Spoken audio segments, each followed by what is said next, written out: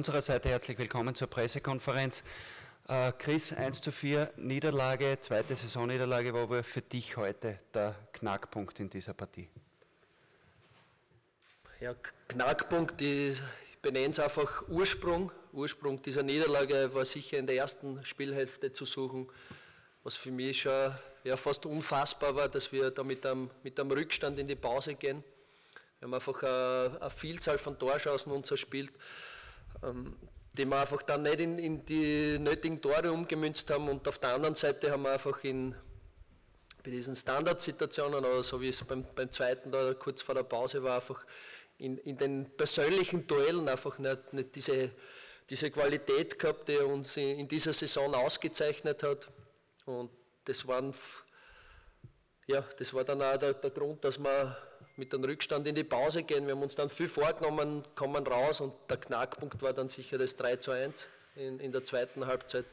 Ähm, wir sind dann gar nicht mehr ins Spiel gekommen. Es ist eine zerfahrene Partie gewesen, dann gekrönt durch, durch den Ausschluss, der was für mich eine unnötige Aktion war von, von Beckenballe. Ich ähm, denke, haben uns der, der Becky ist mit, mit einem großen Vorsatz ins Spiel gekommen, ist ein, ein Spieler, der ein enormes Temperament mitbringt. Ich bin mir sicher, dass das 3 zu 1 noch nicht die Vorentscheidung war in der 50. dass wir schon noch was korrigieren hätten können und, und mit dem Vorsatz äh, ist es Beckenballe ins Spiel. Aber es war dann unnötig, für mich war nicht, nicht zwingend gelb, äh, nicht, nicht zwingend rot. Ich denke, wäre gelb auch ausreichend gewesen. Und somit haben wir uns aber dann äh, ja, jegliche Chance auf, auf noch irgendeine Korrektur des Ergebnisses genommen. Und am, am Ende war es zwar zu hoch, aber doch ein verdienter Sieg von Rapid.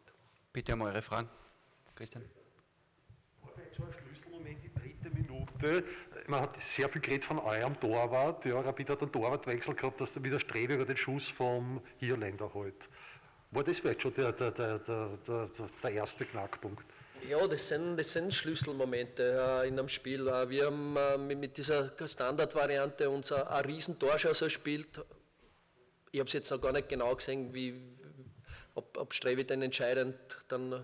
Äh, ja, sicher. Und auf der, auf der anderen Seite ist dieses Duell Kara gegen, gegen Jon Stankovic, der bis jetzt wirklich in der Strafraumbeherrschung überragend war, der heute einfach nicht, nicht so auf, auf dem Level agiert hat ja, ist, ist, ist einmal so, wir haben diesen Tag heute halt gehabt, wir haben bis jetzt eine Saison gespielt, war, ja, war, wo alles wie am Schnürchen fast für uns gelaufen ist. Die, die Gegner einfach hier ihre ersten Torschancen immer liegen haben lassen, in Jörg Siebenhandel ihren Meister gefunden haben, wir zum richtigen Zeitpunkt äh, die Tore gemacht haben. Jetzt haben wir in diesem Jahr zwei Spiele gesehen, wo es nicht so gelaufen ist. Das was auch Prüfungen für uns sind. Wer in Wolfsberg Unterzahlspiel 65 Minuten äh, heute nicht effizient im Verwerten unserer Torschancen gewesen. Dann wieder eine rote Karte. Das ist eine Prüfung für uns, die wir, die wir zu meistern haben. Und für uns gilt es jetzt einfach nur am, am Dienstag schon die passenden Antworten darauf zu haben. Weitere Fragen? Bitte, kurz aufs Mikro warten. Äh, du hast das äh, Thema oder das Wort Prüfung jetzt gerade angeschnitten. Ähm, äh, nach 50 Minuten steht es 1-3. Ihr seid bisher eine Mannschaft gewesen, die sehr robust, sehr, sehr kampfstark war. Aber nach dem 1-3 war es ganz aus. Also da ist ja eigentlich nichts mehr gekommen. Und bis zum Ausschluss vom Bale waren es 20 Minuten. Also da hätte ich mir schon ein, irgendein Aufbäumen vorstellen können. Wieso ist das nicht gekommen, denkst du? Ja, wie, wie gesagt, ich habe ich hab erste Halbzeit da jetzt einmal unabhängig vom Ergebnis uh, schon einen richtig guten Auftritt von meiner Mannschaft gesehen, uh, in beiden Bereichen. Also wir haben sehr gut gegen den Ball gespielt, haben uh, ja, Rapid gar nicht ins Spiel kommen lassen. Jetzt ähm, waren dann aber auch im Spiel Mittenball, vor allem in der Phase zwischen 1-0 und, und, dem Ausgleich waren wir im Spiel Mittenball richtig, richtig gut. Das dominantere, klar dominantere Team. Ja, wollten dann in, in der Pause einfach äh, noch mehr an, an, der Präsenz, noch mehr an, an, an, diesen paar Punkten, die uns halt in der ersten Halbzeit noch gefehlt haben, dann äh, arbeiten. 3-1 war dann äh, moralisch noch ein richtiger Dämpfer und wir dann war die Partie extrem zerfahren, viele Fouls, äh, ja, für mich überhaupt keine klare Linie vom, vom Schiedsrichter. Wir sind gar nicht in einen Rhythmus gekommen, zu gar keine Torschancen gekommen. Bit hat das auch geschickt gemacht, haben auch jetzt, was, was, was das Zweikampfverhalten betrifft, auch richtig, richtig ähm, ähm, guten, präsenten Tag gehabt, wo wir uns schwer dann haben. Ja, und von, von, dem sind wir nicht mehr ins Spiel gekommen und, und in der 70. war es dann sowieso in Unterzahl, war es dann sowieso erledigt. Weitere Fragen? Wenn es keine mehr gibt, ja, bitte.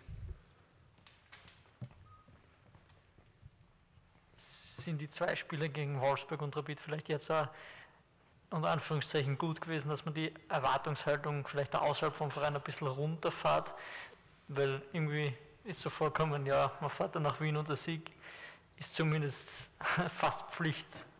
So haben, ist es irgendwie rübergekommen. Ja, ich habe es im Vorfeld äh, in zwei Fragen davor schon gesagt, das ist für uns äh, im Herbst alles ja, wie, wie auf einem richtigen Flow und, und äh, nahezu ideal alles verlaufen. Und, und natürlich ist ganz normal, dass dann auch die Erwartungshaltung steigt.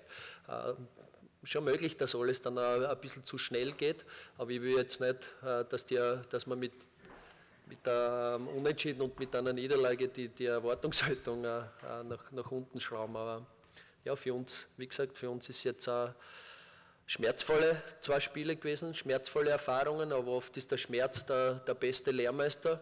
Und, und wenn, wir, wenn wir aus den beiden Spielen uh, unsere Lehren ziehen, dann glaube ich, wird es uns viel bringen für die Zukunft. Ich hätte eine Frage zu den Standardsituationen. Rapid hat da im Herbst extreme Probleme gehabt und offensiv nicht so viel getroffen.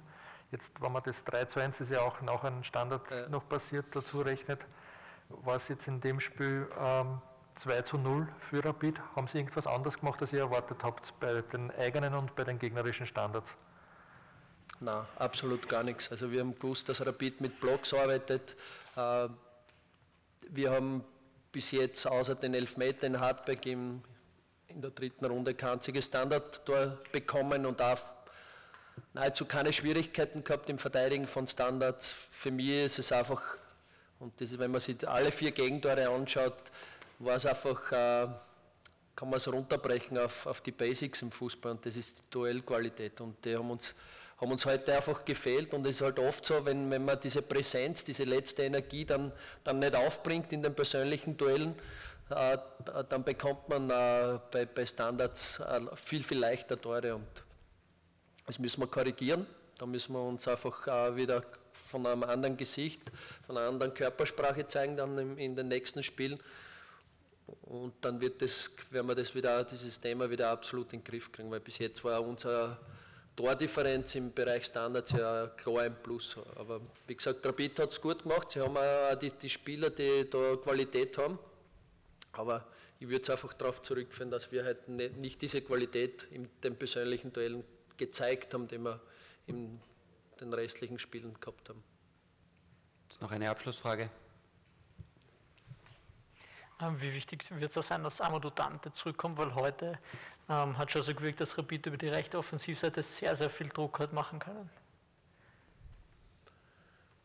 Ja, es fehlt jetzt leider mit dem Beckenballe wieder ein Spieler in einer englischen Runde, wo, wo ich denke, dass er schon sehr, sehr wichtig gewesen wäre für uns. Und ähm, mit Amadou Dante haben wir heute einen Spieler vorgegeben. Wie gesagt, das habe ich eh schon das haben wir eh schon zur Genüge durchgewälzt, das Thema mit der Dreifachbestrafung, macht einen kleinen taktischen Fehler, einen Stoß und das für, ja, muss man einfach so eine Strafe hinkriegen.